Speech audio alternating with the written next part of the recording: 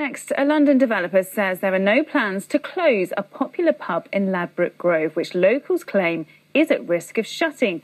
The KPH has been listed as an asset of community value by the local authority, but regulars fear there are plans to redevelop it. Tonight, the company denies those allegations and says those currently running it are there illegally. Katie Oakes reports.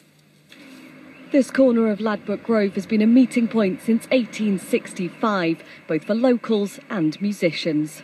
Well, it's got a lot of history. It, it's, it's been here for 150 years. It's been a place for all the different communities who live here for many, many years. A place where Tom Jones was discovered. He used to sing here for pints of beer.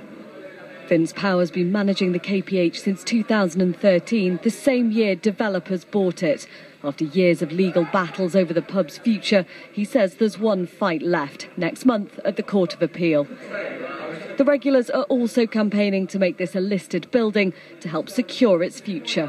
In Notting Dale Ward, we've only got three pubs left altogether, and another one is about to be closed. So we're very serious about saving this pub. It's a real hub for people to come in, and you don't realise until you've got it that that's what you've always wanted.